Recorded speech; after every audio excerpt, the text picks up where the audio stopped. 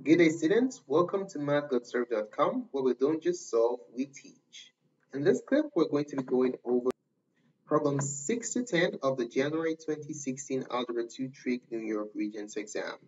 If you have any questions about the contents of this presentation or, or any Algebra 2 Trig Regents uh, question in general, just include your question in the comment section below and we'll be glad to assist you at our earliest convenience. All right, let's take a look at number six. It says the expression square a cube root of 27 a to the negative 6 b to the third c squared is equivalent to. So uh, we're going to be using multiple properties of exponents here. So we have the third, let's change the color of that, um, the third root, root of uh, 27 a to the negative 6b to the third c squared. Now we're going to use the um, the nth root property of exponents to express this as a power. And at the same time, if possible, we want to try and express every single term as a power too, okay? So 27, can it be written as a power of the product of primes? If you decompose 27, what do we have? I want to express 27 as um, a product of primes with their respective powers, okay? Um, so 3 goes into 27 nine times, and then we can break down 9. 3 goes into 9 three times. So if I want to express this as a power of product of primes, 27 is 3 to the third power, okay?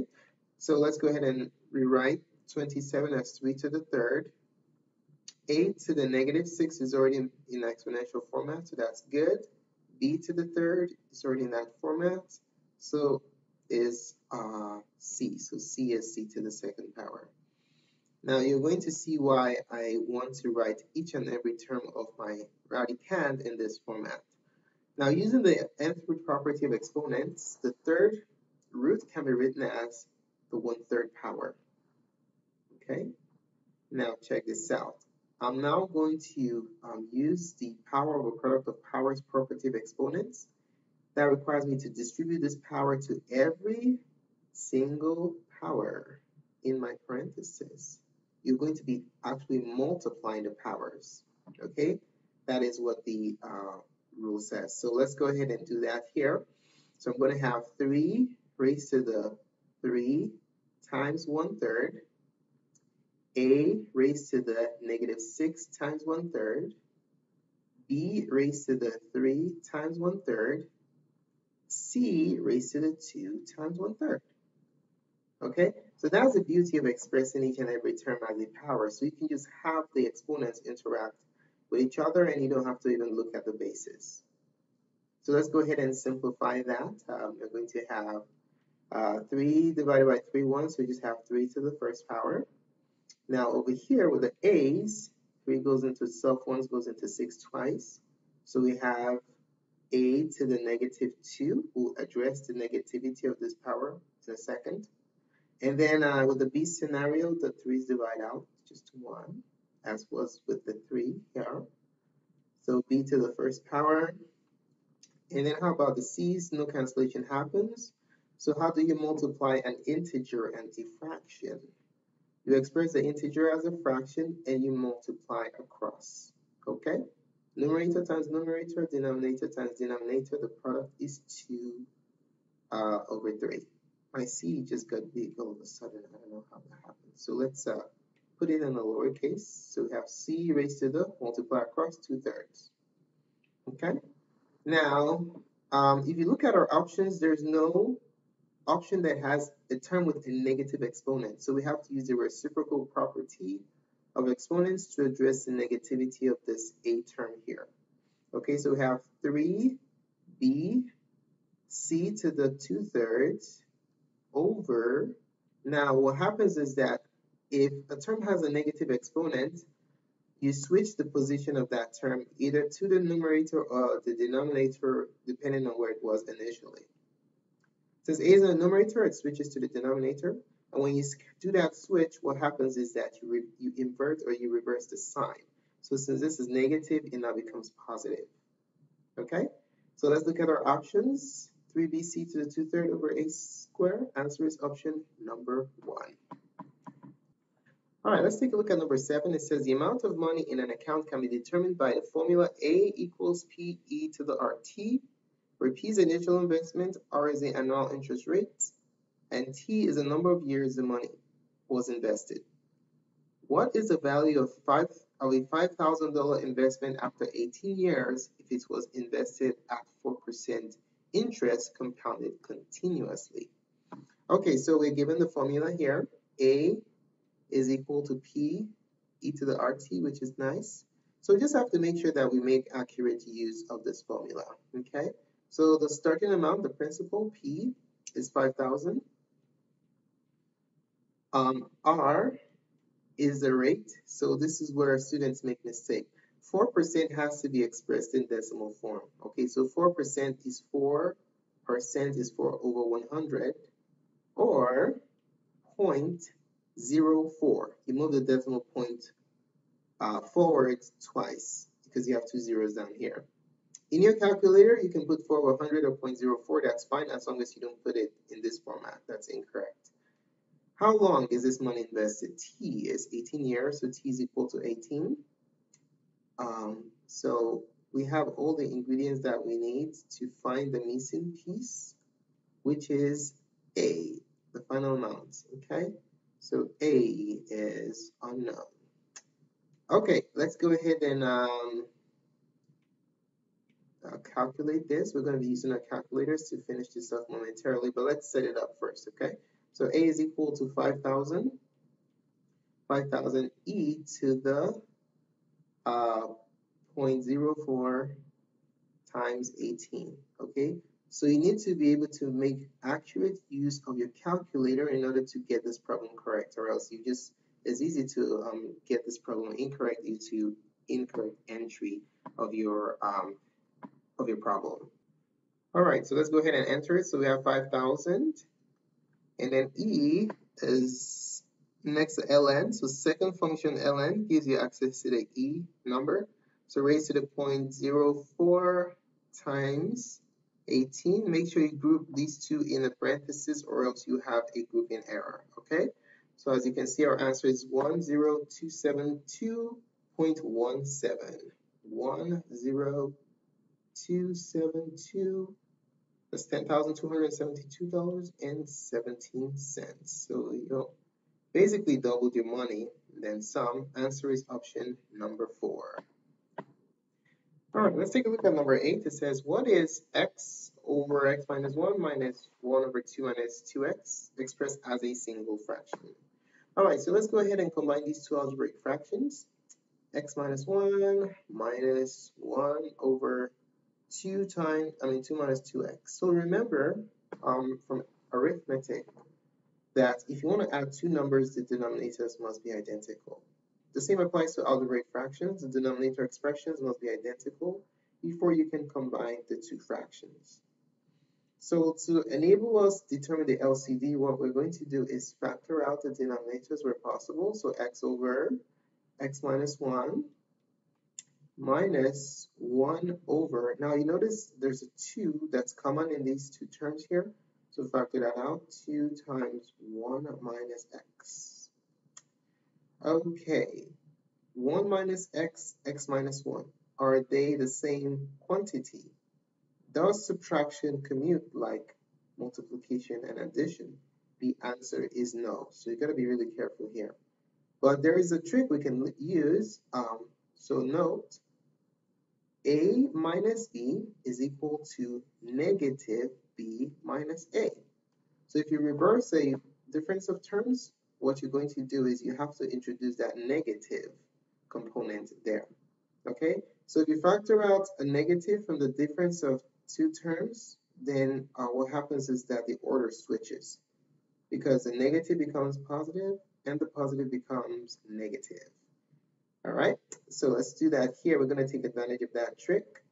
x minus 1 minus 1 over. So I'm going to factor out a negative, place it right here. And then if you factor out negative, these two can switch around because x becomes negative. I'm sorry, x becomes positive and 1 becomes negative. Bam. Now we have minus minus, so we can multiply those two signs x over x minus 1. Minus times minus is a plus. 1 over 2 times x minus 1. Now, in order for you to combine these two fractions, the denominators must be identical. We already have this in factored form. Now, what's missing here to make it the same as this? It's missing a 2. Okay, so how do we address this difference? You multiply the numerator and the denominator by 2. Is this a not correct way of writing it? No, you have to put the parentheses, okay? Or else that means it's just, I'm doubling just the x. The parentheses means I'm doubling the entire uh, expression, which is what we're doing, okay? So now that we have identical denominators, let me write it in the same color. So we have 2x divided by 2 times quantity x minus 1 plus 1 over 2 times quantity x minus 1. Now I can combine them. Okay, so I'm going to have 2x plus 1 divided by um, 2 times quantity x minus 1. Our answer is option number 3. All right, so it says uh, number 9. Number 9 reads, what is the total number of points of the intersection of the graphs of the equations 2x squared minus y squared equals 8 and y equals x plus 2. So we have a system of equations here, a quadratic and a conic.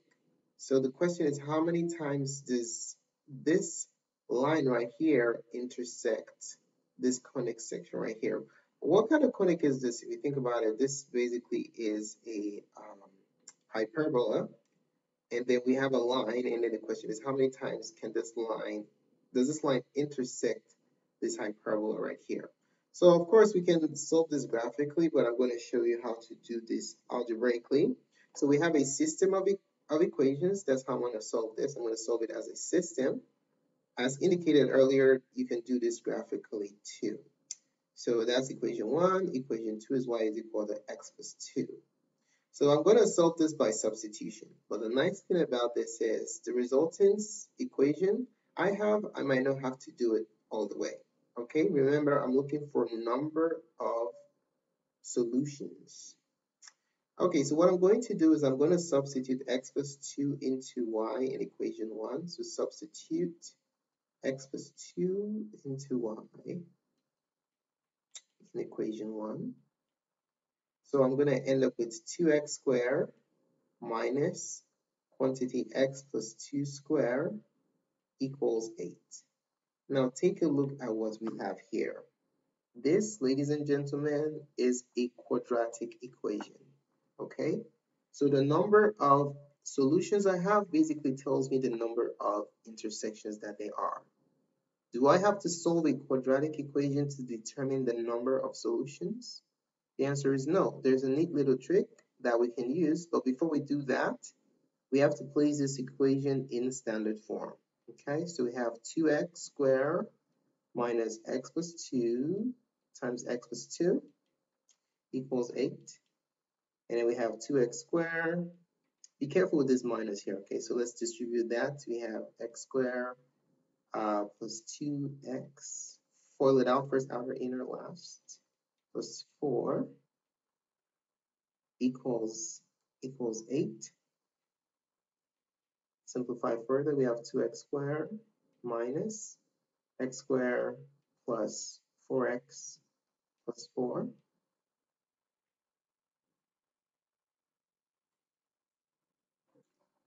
Um, equals 8. Uh, then we distribute the uh, negative, so we have 2x squared minus x squared minus 4x minus 4 equals 8. Now we're going to set it equal to 0, okay, for the standard form. So we have 2x squared minus x squared is x squared minus 4x. And then when we add, I'm sorry, subtract 8 from both sides because we want to equal to 0 uh, minus 12 equals 0. Okay, so this is the resulting uh, quadratic equation. Now, do I have to solve it? The answer is no. I'm going to use a shortcut and that is the discriminant. Okay, so the discriminant can tell me the number of solutions. Do I have um, zero solutions, one solution, or two solutions? Okay, so remember if your discriminant, your discriminant, um, discriminant is b squared minus 4ac, that's the radical of your quadratic formula. If it's um, equal to zero, we have a double root, basically like one solution that's the same. Uh, if it's less than zero, we have no solution. And if it's greater than zero, we have two distinct solutions. So let's look at what the discriminant is here. So from this problem, we can see that A is 1, B is negative 4, and C is negative 12. So our discriminant is going to be b squared, negative 4 squared, minus 4ac. Okay, 4ac.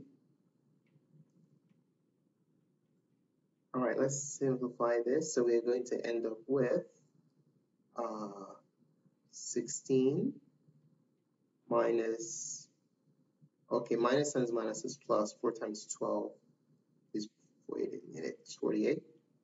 Okay, and then we add these two together, you have 64. Now, since 64 is greater than 0, guess what? We have two distinct solutions. Distinct solutions. They are actually going to be real. Uh, they're going to be rational because this is a perfect square. Okay, two distinct solutions, that's what we really care about. So our answer is that we have two intersections uh, as solutions um, when the, you graph this line and this uh, hyperbola on the same coordinate system is going to intersect twice. All right, let's take a look at question number 10, the last in this review installment. It says, uh, given the sequence uh, x, x plus 2, x plus 2y, which expression can be used to determine the common difference of the sequence? So the common difference formula D, let's write it down. Formula, common difference D is given by an minus no, an an minus an minus 1. Okay, this is just the uh, symbolic way of saying is subtract a term from the term before it in order to compute the um, common difference. Okay, so examples, you can say A2, what's before A2? A1. Or you can say A3, what's before A3? A2. Or you can say A4, what's before A4? A3. Okay, so just take a term and subtract it from the term, subtract the term before it from it, and that will give you a common difference, okay? So in this case, we have X, X plus Y, and X plus 2Y. This is A1, a1, this second term A2, and this is A3. So we can write down the common difference in two different ways, okay? So and then we'll see which one the correct answer is. So common difference can be written as A2 minus A1, which is x plus y minus x, or it can also be written as A3 minus A2, which is x plus 2y minus the quantity x plus y. Okay, so let's see which one matches. Um, x plus 2. Oh, answer is option number 2. Thanks so much for taking the time to watch this presentation. Really appreciate it. If you found the contents of this tutorial helpful to you, do give us a thumbs up. Your positive feedback is very important to us. If you have any questions, don't forget to just include it in the comment section below and we'll be glad to support you. Don't forget to subscribe for more of this uh, review series. More clips can be found on mathgotserved.com. Thanks again for watching.